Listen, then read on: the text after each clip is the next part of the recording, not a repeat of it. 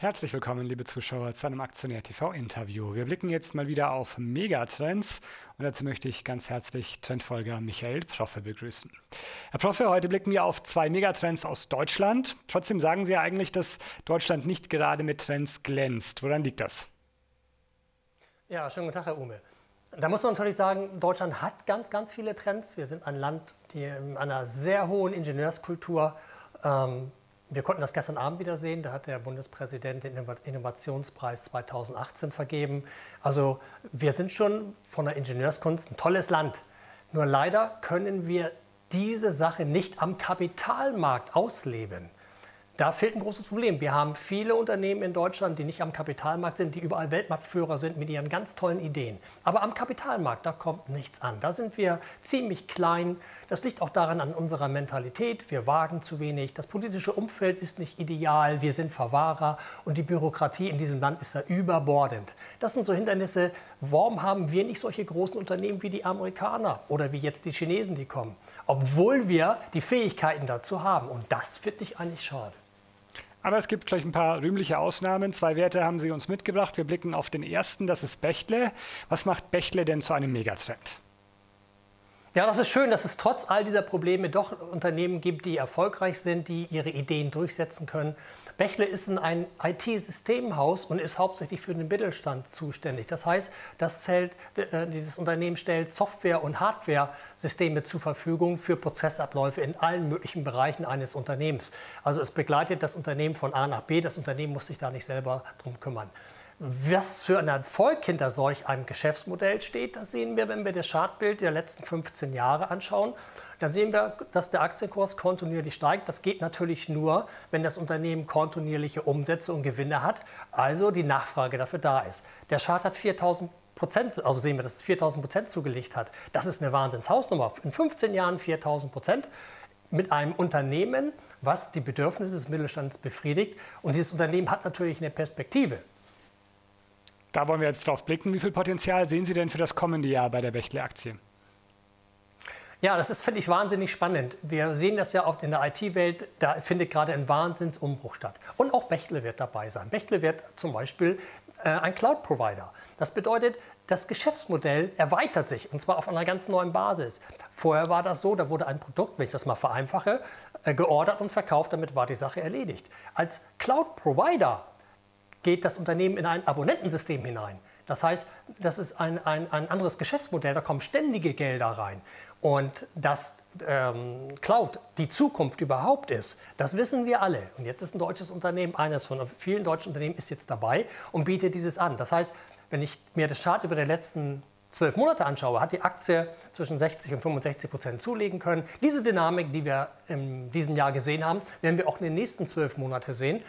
Und dadurch, dass sich das Geschäftsmodell von Bechtel erweitert und noch wesentlich mehr Potenzial äh, in den nächsten Jahren vorhanden ist, werden wir möglicherweise noch eine größere Dynamik sehen und über die nächsten Jahre eine ständig steigende Dynamik.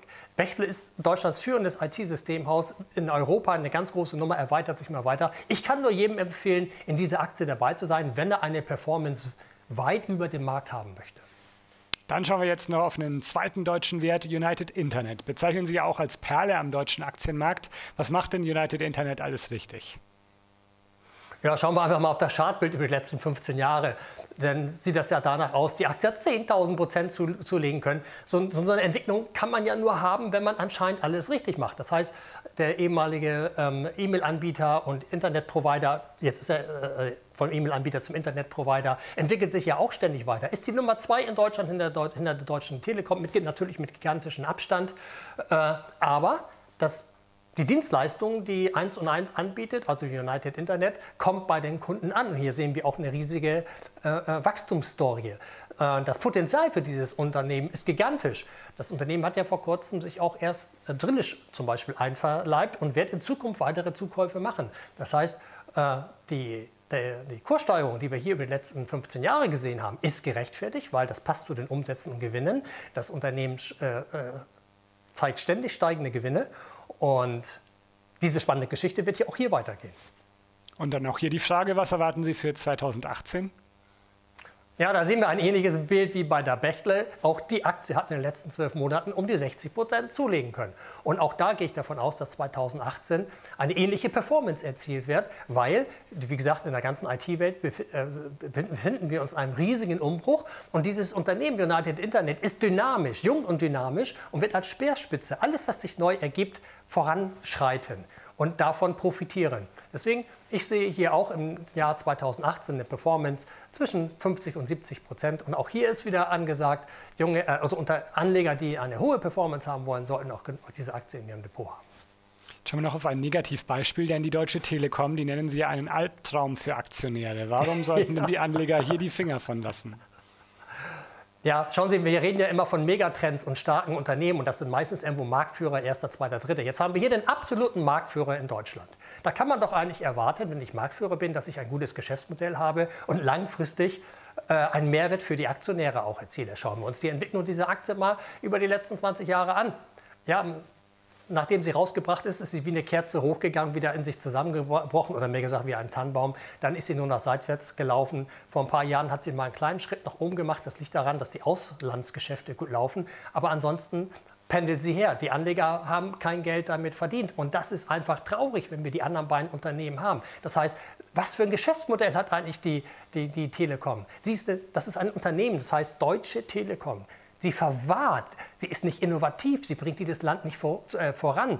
Wenn wir sehen, wie weit Deutschland abgehängt ist in der Breitbandgeschichte weltweit, wir werden immer weiter durchgereicht. Einer der Gründe ist die Deutsche Telekom, die blockiert komplett alles. Unsere Wirtschaft leidet bereits darunter. Warum soll man in dieses Unternehmen investieren, was ein Riesenblockierer ist? Und das sieht man natürlich dann auch im Aktienkurs, weil hier sind keine Umsatz- und Gewinnerwartungen wie bei den anderen Unternehmen. Diese Aktie hat für die Aktionäre noch nie was gebracht. Dann wenn wir uns jetzt noch, Entschuldigung, ja. wenn wir, ja?